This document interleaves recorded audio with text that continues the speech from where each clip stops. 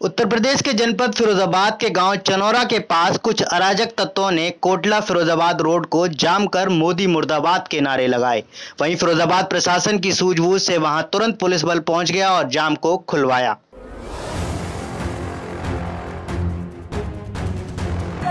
何?